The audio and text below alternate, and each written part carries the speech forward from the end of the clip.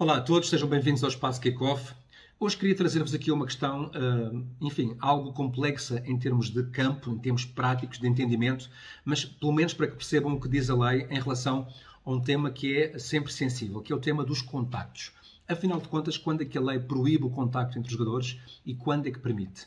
Às vezes a linha é muito difícil de calibrar porque uh, o contacto fica no limite da legalidade com a ilegalidade e é isso que eu vou tentar pelo menos desmontar teoricamente para que possamos todos ter ferramentas para analisar as questões em campo com outro saber. Primeiro dizer-vos que a lei que trata destas questões é a Lei 12, é a lei que se refere às faltas e incorreções e é uma das leis mais importantes do livro das leis de jogo de futebol. Em relação à questão dos contactos, eu diria que há quatro tipos de contactos. Um deles por defeito, que nós sabemos que é o contacto legal. O contacto que é permitido e que, obviamente, acontece em várias situações de jogo e nós sabemos, porque intuímos logo até pela questão do lance, que ele não foi culposo da parte de ninguém, eh, que não foi, de alguma forma, provocado por um jogador sobre outro e esse é legal. Depois, a Lei 12 especificamente fala em três tipos de contacto que não são legais, que são punidos. E eles são punidos de formas diferentes e gradualmente uh, superiores. O menos grave, digamos assim, é o chamado contacto imprudente. A lei pune-o com pontapé livre direto ou com pontapé de penalti, consoante o local onde seja feito, mas não pune disciplinarmente. Depois, a um nível superior, ao contacto negligente. E aí a lei diz que, além da sanção técnica, ou seja, do pontapé livre direto ou do pontapé de penalti, há também lugar ao cartão amarelo ao infrator. Por último, o uso de força excessiva. E aqui o próprio nome diz tudo, a lei é uh, enfim, é intolerante em relação a este tipo de ações, pontapé livre direto ou pontapé de penalti e cartão vermelho direto.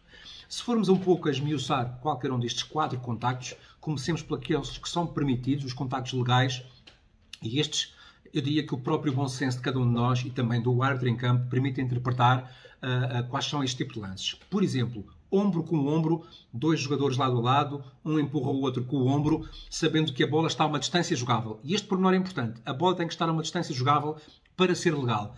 Por distância jogável entendamos 2, 3 metros. Portanto, se a bola estiver a essa distância e houver um contacto do ombro com igual parte da região do corpo do adversário, é legal. Nós também sabemos, por exemplo, que choques entre jogadores a meio campo, que colinem de cabeça, que saltam à bola os dois e há um que cabeceia a nuca do outro sem querer, ou mesmo entre guarda-redes e avançado, que vão um em direção ao outro na busca da bola, em que nenhum tem uma ação mais antidesportiva, digamos assim, em relação ao outro, não levanta a perna, não levanta o braço. Se houver de facto um choque de frente, ainda que possa potencialmente lesionar um ou os dois jogadores, e já aconteceu situações dessas, Depreende também que, não havendo alguma culpa por parte de um dos jogadores, é sempre um lance fortuito, logo legal.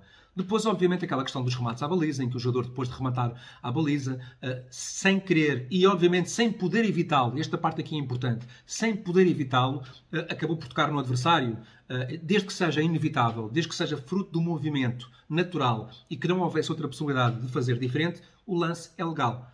Obviamente que às vezes há situações que nos deixam nas dúvidas, eh, na dúvida, perdão, mas aí é que tem que valer o saber e a interpretação que o árbitro tem. A imprudência já é algo diferente. A imprudência diz que um jogador teve falta de atenção ou falta de cuidado em relação ao adversário. É uma forma de contacto punida apenas tecnicamente, ou seja, não há direito sequer a cartão amarelo e acontece muitas vezes quando um jogador nem tem a intenção de cometer falta, mas devia saber que eh, tomou algum risco no sentido de uh, projetar o adversário, por exemplo, para o solo. Um exemplo típico é aquele em que o jogador vai isolado para a baliza, o defesa aproxima-se demasiado nas suas costas para tentar interceptar o lance e, na passada, acaba por pisar-lhe a bota sem querer. Percebe-se que muitas vezes não há intenção de fazer esse pisão, de descalçá-lo, de lhe dar um toque na parte de trás, mas a verdade é que o jogador correu esse risco. Porquê? Porque aproximou-se demasiado do adversário. Ele foi imprudente, ou seja, ele não teve cuidado que poderia ter tido, não teve a atenção que poderia ter tido e correu um risco. E ao correr esse risco, embora sem querer, a verdade é que o adversário, sem culpa nenhuma, é derrubado quando conduzia uma jogada perigosa. Portanto, o jogador que faça uma ação apenas imprudente, e no caso concreto que eu dei agora, teria que haver cartão não pela falta em si, mas pelo enquadramento da jogada, poderia ser amarelo ou vermelho, mas suponhamos que era um toque na passada na zona do meio campo, sem perigo nenhum, não seria cartão, mas a falta seria marcada a mesma. Portanto, moral da história, imprudência é falta de cuidado, algum risco desnecessário que podia ter evitado. A negligência, sim, já implica, além da sanção técnica, o cartão amarelo. E a negligência já é não medir as consequências da sua entrada para a saúde física do adversário.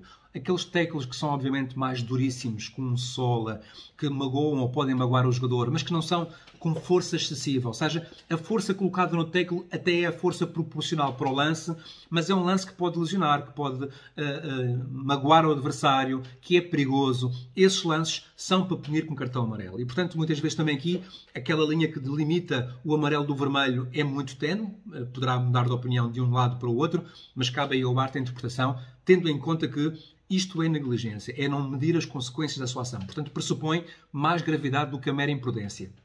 Por último, força excessiva.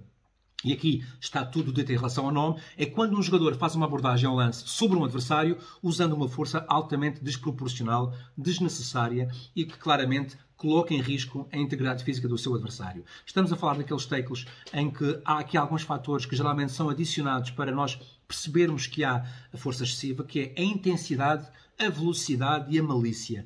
Qualquer um destes três existindo num lance em que depois se veja que há uma sola, que há um contacto físico que magoa o adversário ou que pode potencialmente magoá-lo, que, por exemplo, o contacto na perna do adversário não é onde estava a zona da bola, mas mais acima, que a entrada era totalmente desnecessária. Ou seja, são daquelas que todos nós olhamos para o lance e percebemos houve falta a mais para aquilo que o lance justificava. Também aqui um pouco de feeling e de ler os sinais do lance, de perceber as consequências em relação à lesão do adversário, mas tudo isto é punível com cartão vermelho.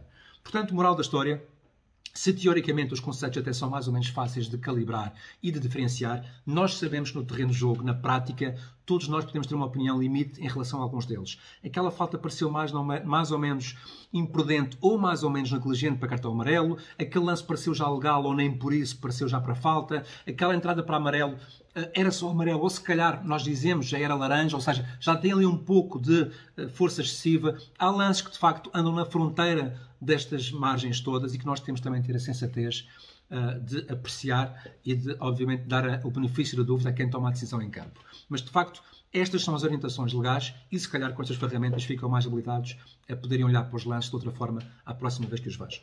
Até lá.